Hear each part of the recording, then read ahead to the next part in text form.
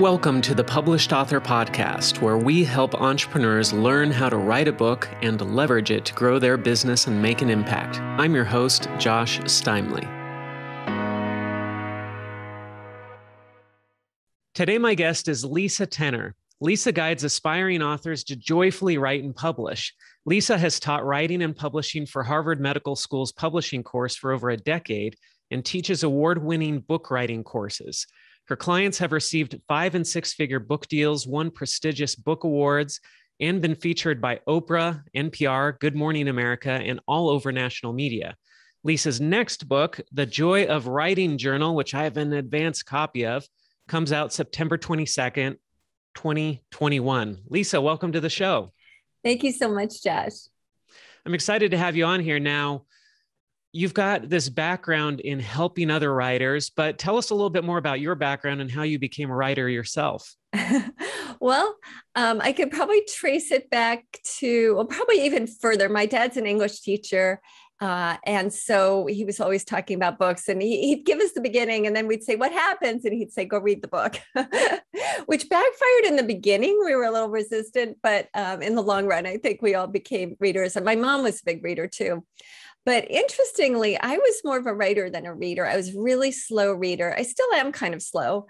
And um and but I did fall in love with books eventually and like in high school I started to become a really voracious reader despite my slowness.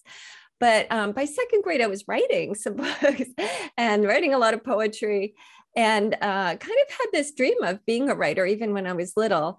And uh, then interestingly, uh, when I was applying for colleges, my father was all about, you know, go somewhere where you can really come out and get a job right away. And MIT had been actively recruiting more women and, and also just people with a more diverse background in terms of interests. And, you know, I had both the math and science and the writing and the creativity. So, um, so he was all excited and and uh, I went to MIT, and kind of interestingly, we had all these amazing writers there. MIT was was actually paying a little more than Harvard, so they were pulling these these great writers that, that supposedly they were fighting fighting over with Harvard. Um, but I learned um, poetry writing from Gjertrud Schnackenberg and uh, playwriting from Pete Gurney, who was just an amazing teacher and uh, Frank Conroy, who at the time was the director of the National Endowment for Arts and Literature, and the next year became the executive director of the famed Iowa Writers Workshop, was at MIT for just this brief one semester. And I was so fortunate to be in his seminar. Uh, and he really taught me how to edit. And so when I edit people's writing, it's his voice in my head and it's all the things he taught me in that one semester that have really, I think, catapulted me on my career eh, from a, an editing standpoint. Sounds like an um, amazing environment to be around all those people. It was, it was. I almost double majored in writing, but I realized I'd need an extra semester and more money. And, and so that was enough for me to say, oh, I'll just minor in writing. But I took writing classes every semester, one or two, and just loved it. So you had this inherent love for writing. Did you have an idea of what you wanted to do with that while you were still going to college? No, I mostly read fiction. And then in my 20s and 30s, then, you know, I kind of more self help and business and all kinds of other nonfiction types of books. But it wasn't really till I had this weird idea for my first book. Uh, and that was maybe, um, trying to think when that was.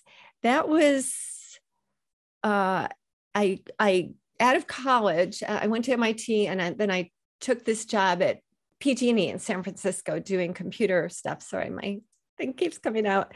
Um, and that was um, I'm not going to even say because I'm so old. but I was in San Francisco, came back to Boston, and then when I was back in Boston, I was um, I did a little bit of work for Fidelity, went back to business school, and then worked briefly for AT&T and then a nonprofit, ran a nonprofit for 10 years. So that was kind of my big thing. And um, that was all uh, you know, while I did that, I still kept writing and I, I took a poetry class at Cambridge Center for Adult Ed and, you know, always had a foot in the writing thing. But it wasn't until I had a chronic illness that I actually got the idea for my first book. And um, it was, you know, it was lying in bed at night and I couldn't sleep. And I felt like this, it felt like kind of anger kind of in my body and I felt uncomfortable and I didn't know where it came from, what it was. But uh, I've been taking this um, class called a polarity therapy. It was this kind of energy healing work that just I was curious about because it had helped me heal. And I was um, thinking, you know, in class we learned that anger is just an energy and it's fire energy. So I imagine this fire energy coursing through my body. And I suddenly felt much better. But then I had all this energy. I couldn't sleep because I had all this fire energy coursing through my body. And I um, I just thought, wow, this is really interesting. I, you know, started writing about how we can, you know, imagine anger differently and therefore be more creative with how we deal with it and use it to communicate in healthy ways. So that was sort of the gem of that book or the germ germ rather of that book I guess a gem as well. And I ended up really fortunately finding two amazing collaborators Peaco Todd, who was a cartoonist and added uh, these wonderful cartoons to the book, and Jane Middelton-Moz, who was really the person who had the credentials to write this book because I had no credentials to write, you know, this this book except my own experience. Um, but she was she is a um, uh, social worker and and was um, author, I think at the time already, of 10 books, uh, most of them actually having to do with anger. So she was a big anger expert and often one of the featured speakers at health communications um, conferences. And um, so so we wrote this book and then i started teaching workshops on anger with Peaco and realized i had no interest in teaching anger workshops people came in and they'd be like this you know the their husbands or wives had sent them and they they it, it was I don't know. It wasn't that much fun, even though we were trying to tap into creativity. And and I felt like I was over my head. You know, I wasn't really the uh, psychology expert or anything. I just knew about sort of this energy work way of thinking of things. So I um, I was really struggling, and I had my first child, so I didn't want to go back. I had run a nonprofit, which is an incredibly intense and demanding job, and I knew I didn't want to do that. And I wanted to be home with my child, but what you know, kind of what could I do? I needed to contribute to the family financially too, and um, one day I just, it was sort of like a download. It was just teach what you did to write your book. And particularly it was these five steps for getting in the zone and, and getting in that creative space. So I started teaching that and I thought, oh, this is for artists, it's for writers, it's for creative people. But really, it was the writers who came. And then more than that, the people who kept coming to me wanted help with a book or a book proposal. So my whole career was sort of informed by the people who um, really needed what I had to offer. And they really taught me what I was there to do and how to serve more than, you know, some grand vision or business plan I had. It really just unfolded bit by bit, which is kind of an exciting way to find your uh, avocation and your love when you say you started teaching workshops on writing, how did you start those workshops? Who were you teaching? How were you getting people into those workshops? This was in the days when you didn't have, you know, the internet was not quite what it is today. And so a lot of what I did was like making flyers. I did make them on my computer, but and hanging them in coffee shops and stuff like that. And, you know, I said at first it was open to photographers and artists. And, you know, some of those people came too, but it was really the writers who um, most needed what I had to offer, and I started offering them retreats and and and pretty soon helped to really write a book and, and it became my bring your book to life program which um, won a stevie award for uh, best new service of the year one year. And uh, it, it, you know it's it's been uh, it's been a fun journey surprising in many ways. So when about was this that you started doing these writing workshops and teaching people how to write books? When was that? Um, I would say in the early 2000, like 2005, kind of around there. Um, yeah, maybe a little okay. before that. So it's been a good 15 years or so. And then you've also spent some time with the Harvard Medical School teaching them writing. Tell yeah. us a little bit about that. So it's part of the continuing medical education program. CME and doctors and therapists and, and others in medical professions need to earn uh, education credit, continuing education credits. And so this is a course that they offer. And it was the second year that the course was being offered. And it just so happened that my publicist, um, we weren't publicizing the book actively anymore, but he thought of me when he was asked to uh, be a speaker and talk about PR for books and he asked the course director and founder julie dr julie silver uh, do you need another writing coach? And she said yes i do. And so uh, from the beginning i taught these writing workshops in the evenings where people would give us like 10 pages of writing and we'd give them feedback. And we'd also involve the group in giving feedback. Uh, and we'd have a panel that i was on where we would um, well sometimes we would have a panel where we would offer uh, information about working with a coach or an editor or working on a book proposal. And then uh, there's this pitching panel. So there's this pitching contest. You have to have like, I think it's three minutes. It's very short pitch. And agents and publishers and book coaches like me and editors would uh, give people feedback and kind of rate them on there were maybe five or six items like their platform like the book concept is this marketable? things like that.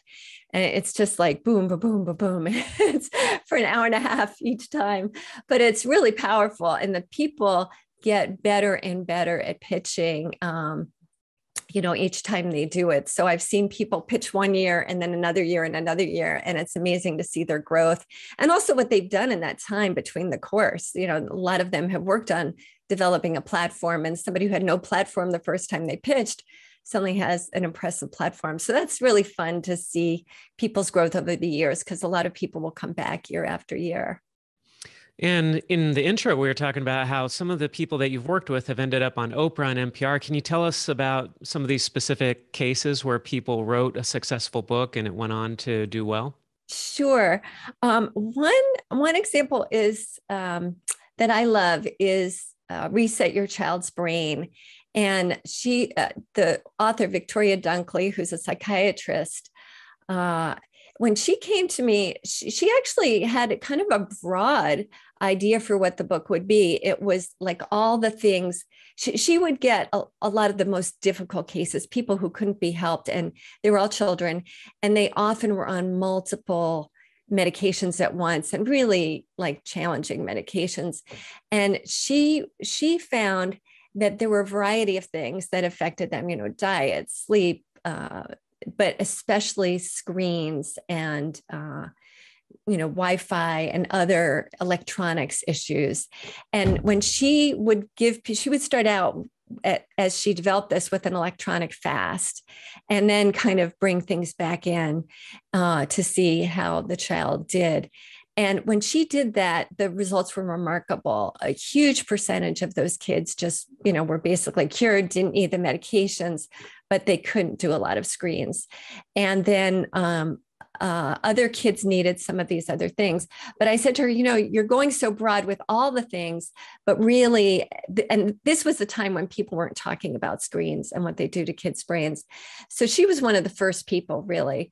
And um, I said, you know, that's really the book is this. And, and that's often the case, right? As a, a, an author might be thinking broadly of all the things they can offer someone, and it can be so much more helpful when you package it uh, as one piece, but maybe the most crucial piece and the piece that's been missing all these years. Uh, so that was that was uh, that was interesting because also she didn't have a platform at the time, and so one of the things we talked about was how does she get develop a platform but at the same time not give away all this research she did because it wasn't original research it was looking at all the research that's out there and what does it tell us about um, brains and the effects of electronics on brains, the effects of Wi-Fi on brains, and particularly children's brains. So she was sort of putting all of that together at a time when people weren't. Um, but you know, she could put it out there on Psychology Today, and and somebody with a bigger platform could just scoop that and, and write their own book. So we were nervous about that. I'm usually not nervous about that. Usually, you know, it's your book; it's not going to be scooped. But in this case, we were uh, and I was. So uh, I said, just just blog tangentially for now. And so she blogged on things like the effects of screens on Tourette's syndrome, so something very specific, or the importance of getting outdoors for kids and taking breaks from electronics. So she she really blogged tangentially, not the core message of the book, and she um, she pitched a psychology today, and they took her column, which is um, huh. I'm, I'm not going to remember the name of the column. That's but, fine. Uh, but it's a great column, and and it really now focuses mostly on the effects of screens and computers on children's brains and how to support your kids um, to have healthy habits. Uh, and um, so she she also um, was, you know, really nervous about doing other things like TV. You know, that just felt so big and it wasn't a natural thing for her. But um, her husband actually worked uh, doing video for the Today Show. So, you know, I encouraged her over time and she developed a pitch and she ended up being on the Today Show a couple times. And that, of course, really helped with getting the agent and getting a publisher. They love to see that you've got some platform and that you're reaching people already. Uh, and now, She's been on Good Morning America, really big features showing what she does with a family and in their home and the changes that they make and how it affects them. So they're really inspiring pieces. If you look up Good Morning America and Victoria Dunckley, you'll find them. Um, and then she also is whenever there's a panel about the effects of electronics on children's brains and how to help your kids with electronics, uh, she is, you know, almost always one of the speakers. She's really renowned in the field, and and other uh, best-selling authors refer to her work because it is really seminal in this area. So she's a great example. And I'll tell you one quick. Am I talking too much on this one topic? Oh, this is great. I'll tell you one quick tip I gave her that really opened doors for her. And that was also, I think, before I, yeah, I'm pretty sure it was before the book came out. Um, and she, I had gotten, it was the Huffington Post had sent something, I had subscribed, and it sent me a morning email about this article on cell phone use for kids. And I just thought, oh, this is up her alley. And because they're promoting it, she should go and be one of the first comments. So I sent her an email, said, comment on this right away. And in this case, include a link to one of your articles on Psychology Today, because you, we don't want to be spammy with that. But once in a while, it's really helpful to the readers to get more information. And this was a case where that was definitely true.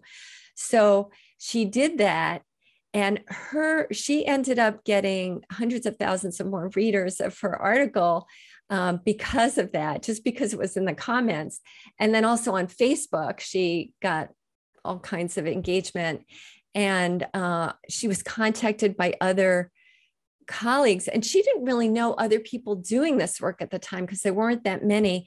So somebody told her about a list serve, and then she became part of this community, which, of course, as you know, when a book comes out and you've already got a community of influencers who are going to support your efforts, it really helps carry a book. So that was fantastic. She had really wanted to have one article in a um, research journal. She had never done that. And that came about. Somebody contacted her because they saw her comment on the Huffington Post article and then her Psychology Today article. And then, in addition, um, she was asked to write something for Scholastic News. So it, it, was really a case of, you know, one thing led to another and another. And this is such an important thing to remember, you know, even just commenting on other people's posts and of course sharing the post too. You want to you want to be a team player, right? And support that person who wrote that article. Uh, but even just a small step like that can open so many doors and really help pave the way for your own book. I think that's such a great example of how to do your own PR and how to get your message out there. Oftentimes we feel like well, I need to be the focus of an article. I need to get TV to interview me and focus on me and my book. But like you're saying, sometimes we can get a lot of exposure for our work by helping other people and supporting other people and commenting on their posts and sharing their posts. And sometimes when we give value like that, the value comes back to us. Absolutely.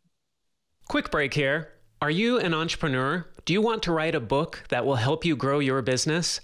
Visit publishedauthor.com, where we have programs to fit every budget, programs that will help you write and publish your book in as little as 90 days, starting at just $39 per month.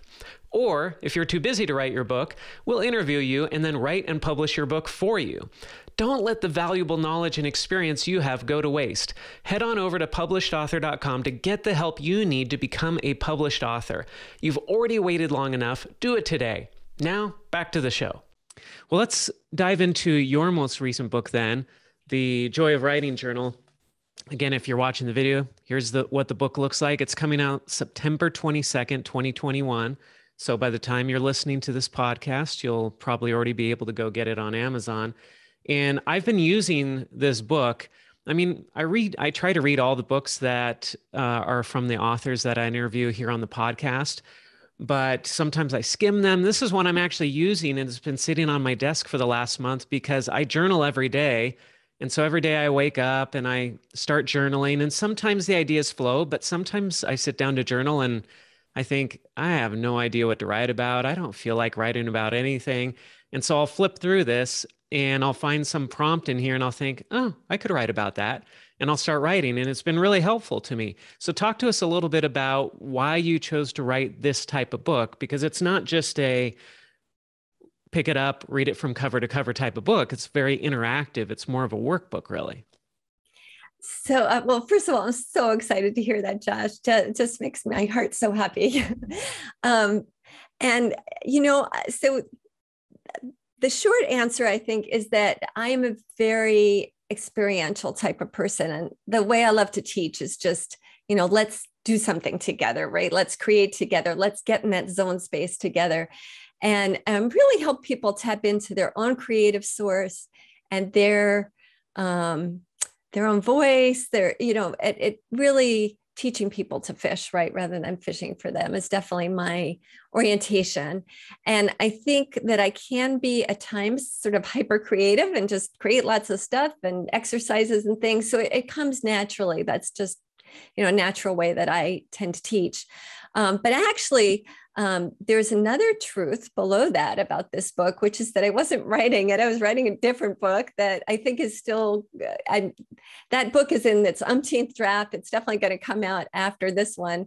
But, um, but this book just like came forward in like a day basically. And, um, uh, you know, of course, there was much work to do after that day but but the the the gem of the germ i'm doing that again gem germ. The gem and germ of it um, came uh, in just uh, overnight. So what happened was i have this colleague tamara monosoff and she published with mcgraw-hill quite a few books. And then when qr codes were fir- just first being introduced she had this idea to put qr codes in her book and add videos in every chapter one or two videos that would engage the reader and introduce the chapter and create some kind of relationship really between her and the reader. And um, and so she did that and now she helps other authors do that. And so uh, sometimes i have a client and i just think oh their book is perfect for having these qr codes with like audio meditations or video. For instance um, carrie rowan is a musician and tell your own story is uh, a self-help book but i thought wow wouldn't it be great if every chapter had a song you know and, and, a video and audio they could listen to so i suggested to her to work with with uh, Tamara. And then another client of mine, Lisa Langer, who's a psychologist.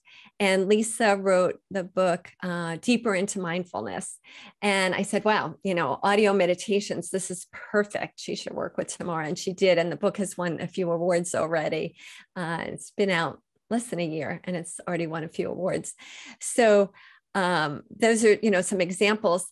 And so I was talking to Tamara and I said, Tamara, would you ever go back to traditional publishing? And she said, Oh, no, never. and I was really intrigued by that. And, you know, for some of my clients, I always suggest traditional publishing. It just makes sense for their goals. And others, I would suggest self publishing for a variety of reasons. Um, and for my own books, I, you know, wasn't really sure, uh, but I was thinking I'd go traditionally published with that book I was working on. But when she said that to me, it made me think, and I thought, you know, it'd be really fun to have QR codes in a book and do do the kinds of things that Tamara does. You could. It's not that you couldn't do that with a traditional publisher, but not every publisher would know how to do that. That they might not be into it. You know, it, it it's uh, not a sure thing. But she, when she said that, I went to bed that night and I woke up the next day with this idea for a book. It was the writer's journal to begin with. That was my and, and actually a book for a whole series uh, of, of books.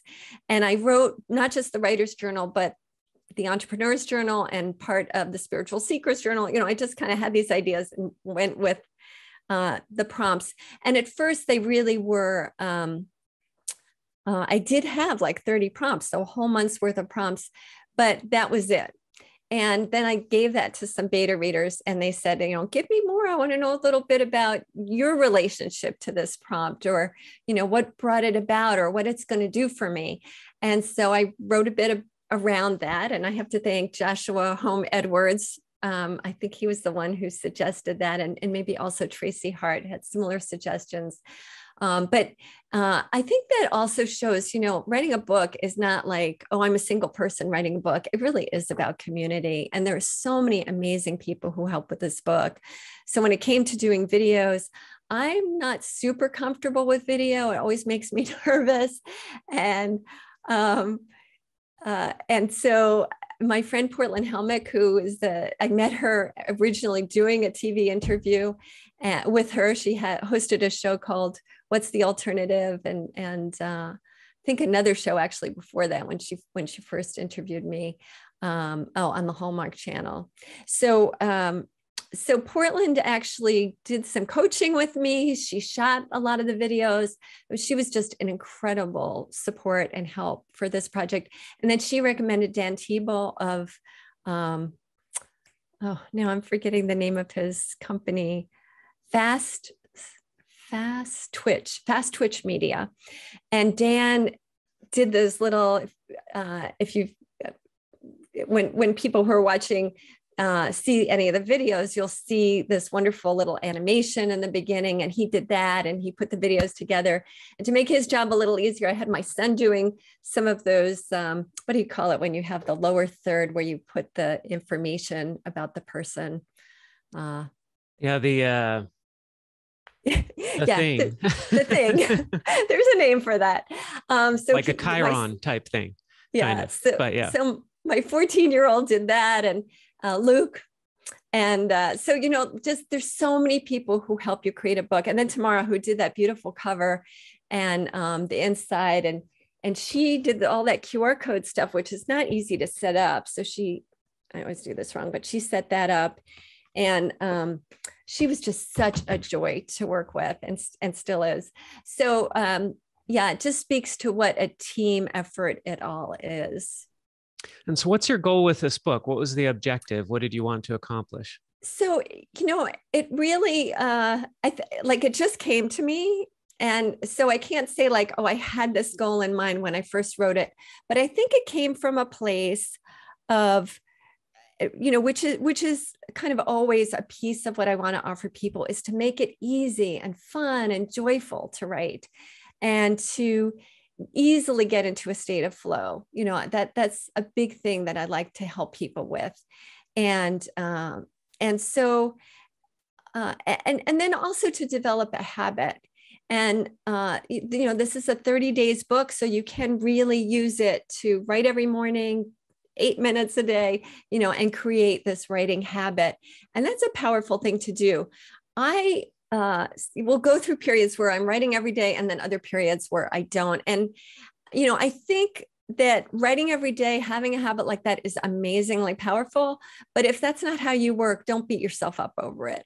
Um, writing, you know, I, I, my writing coach actually said she, she goes like this too. So um, and she's written many wonderful books. So really don't worry about that piece of it but it is powerful to develop a habit. And this certainly does help you do that. And i wanted things that that you know were some that were just super easy and maybe you wouldn't go that deep and others that maybe are a little deeper or just more wacky and creative. And i, I wanted a whole variety of things that would make it fun to work with and fresh.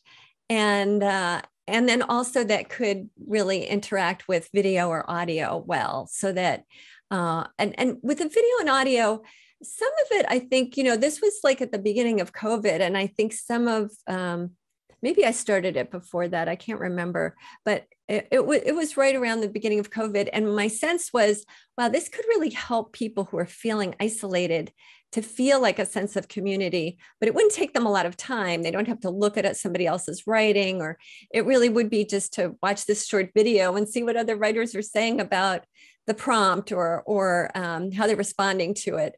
Uh, so you know, it it was it was meant to create a sense of community and. Um, and in October, we're actually going to do something where I, I've worked on the book all summer uh, in the sense of doing all the prompts myself.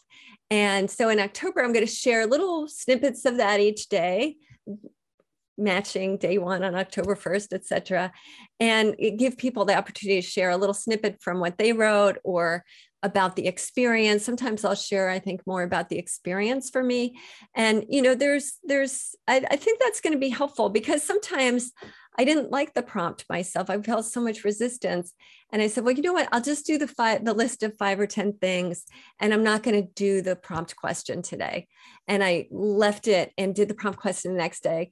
And then I was really surprised. Some of those were the most fruitful or fun or um, maybe went a little deeper. And maybe that's why I had resistance to it. So it, it, was neat to see how when I gave myself permission and not do the, the, the exact way that I had written it for, um, that actually opened things up. So I want to share those things with readers too, so they give themselves some freedom and flexibility.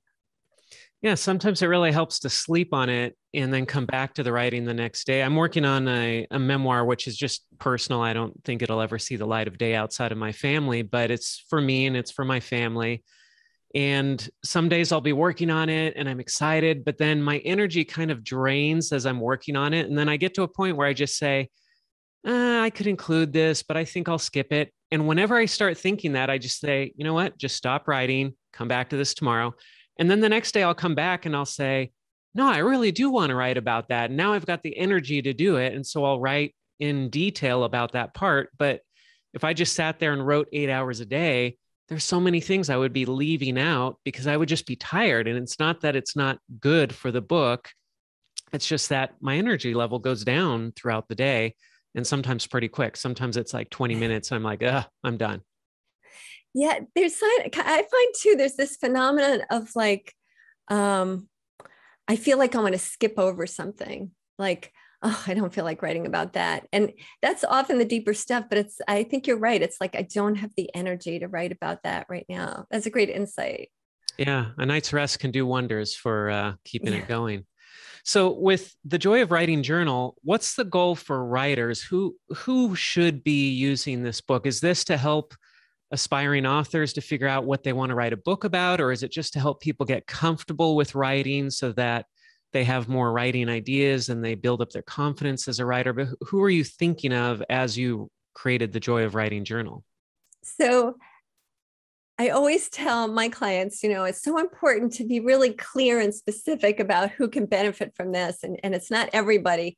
But um, but when I think about it, there really is a broad spectrum because anybody who wants to develop a writing habit, this is going to be helpful. And I think create more ease in developing the habit than maybe if you had to work on a book every morning, which I think is a lot more pressure and and might be a lot more time too. So people who are want to write but are kind of stuck for time, um, people who you know maybe if you're working on something and it just feels so intense and you want something a little easier to first like work your way into that state of flow, this can do that. It can be kind of that stepping stone to flow.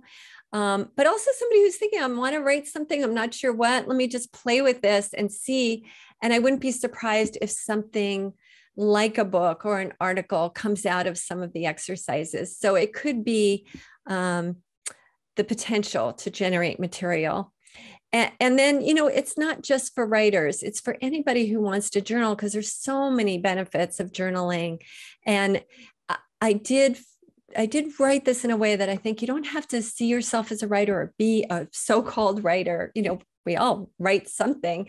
Um, we all write emails.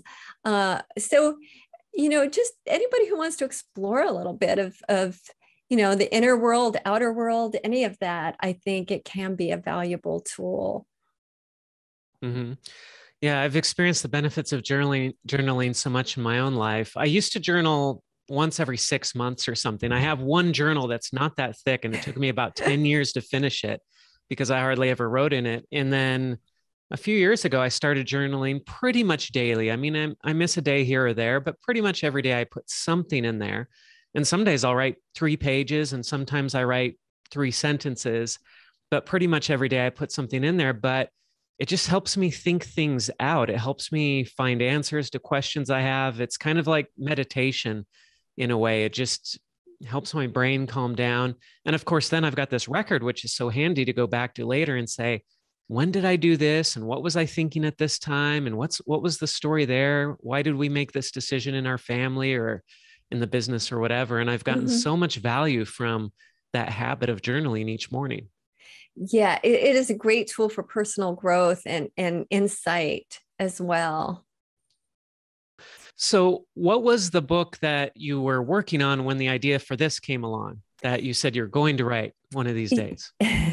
so that that book um, is, you know, it's similar in some ways, but there's there's more memoir to it. It's it's I don't I, I wouldn't call it a memoir, but there are stories that begin every chapter that um, I think are little beautiful moments maybe in my life uh, as a human being and also as a writer. And so I usually tie whatever, well, I think I do in all the chapters, sort of tying whatever that lesson was in that moment to um, to writing and sometimes you know it's about animals i meet in my on my day i was uh, in the woods and uh, and singing singing my prayers in the woods just kind of uh, which I, I just love to to be in nature when yeah, you know when I go deep. Nature's just so supportive, I think, for that.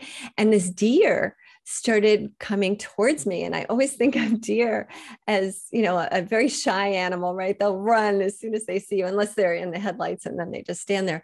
But it came towards me. It wanted, it was, it was, I think it felt the sacredness of the song. And um, and that was that was really a lovely experience. So I wrote about that, or you know, just writing about um, uh, and and I have I live in a lovely little community. It's called Saunderstown, Rhode Island, and uh, it's a place where everybody knows your kids. You know, your kids speak and connect with people of all ages. They'll help the neighbor get the groceries out of the car. Um, it's just a very lovely community, and um, and so you know sometimes I read about that, but they're short short little stories and then um, kind of weaving into this writing lesson, whatever that'll be. And then I have often uh, practice that goes with. So some of the stories also are about this practice, but it might be a breathing practice. I, I practice Qigong. And so it might be a practice from Qigong that especially breathing practice or even a yoga practice, but something that uh, often helps us tap into um, uh, our vitality. And I think when we tap into our vitality, like you said, you get tired, it's hard to have that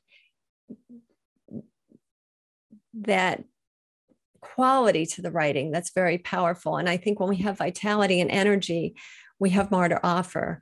And uh, and people often talk about the breath as right being um, um, like the Holy Spirit, right? That that's like the breath um, is is a sacred thing. I think it's so many religious traditions. So um, so there, there's that sense too that the breath really brings something in when we when we bring our attention to deep breathing. You know, it it it enlivens us, it inspires, right? The word inspire even comes from breath. And so Um, so we have some kind of practice that might be, like I said, a yoga or qigong breathing. Most of it's a breathing practice, uh, and then that's followed by some prompts that that often will playfully relate to the story or the the breathing practice. There's kind of a weaving. But again it's a book that's experiential and it helps readers tap into their creativity. So it's a similar spirit to to the joy of writing journal but kind of a deeper dive i would say. Mm, interesting. We'll look forward to that coming out. Thank you. So as we get towards the end of our episode here, we're wrapping things up. Can you talk to us a little bit about, as a book coach, as you're coaching people and mentoring people through the writing process, what are some of the most common challenges you see these writers facing, and how do you help them overcome them, or how do they overcome those challenges? So, um, one of the biggest is time, right? None of us has time to write a book, or we don't think we do. And so, often it is helping them see what's on their plate and what they're willing to let go of to make the time for the book. And, uh, you know, it might mean, and this was an example, someone in my Bring Your Book to Life program, um, it might mean saying, okay, uh, what's coming up? I've got this huge thing on this fundraising committee, and it's going to take so much time. Maybe it's time to get off that committee and train the person to replace me. And she did that and that was crucial. Um, so it's it's creating that space and time and then being consistent about it. So i have people schedule it in you know wednesday from four to six very specific times that they know they're going to be writing. It doesn't have to be every day but it it and it could even vary week to week but it's in their calendar. They're treating it as sacred. Um, another piece is confidence. And I think, you know, partly confidence comes from doing the writing and sharing it. You could share it with a beta reader or a friend or a client or colleague, um, or you can hire a coach and get feedback or hire an editor and get feedback. And as you work with a professional, you probably will become a better writer too and uh, certainly somebody who who nurtures your your gifts and talents, um, but also knows what's missing. Uh, is going to help you to become a better writer. And all of that's going to help increase your confidence. Uh, you can have also community. You can have like a, um, a self-led writing group, or you can join a writing group or join a course. Those are all ways I think that can help increase that confidence and also tap you into that sense of community uh, and uh, potentially accountability as well. So, in, in my course, I often have this accountability partner, and you answer five questions. And I, I can thank Mitch Feinberg for these five questions. They're such great questions. What did I say I do this week? What did I actually do? What worked? What didn't work? And what's next? So, uh, part of the beauty of those five questions is you're not coaching your accountability partner, and you're just listening, and they're coaching themselves, right? And and what worked and what didn't work is going to inform what they do next. Okay, so I'm going to do more of what worked.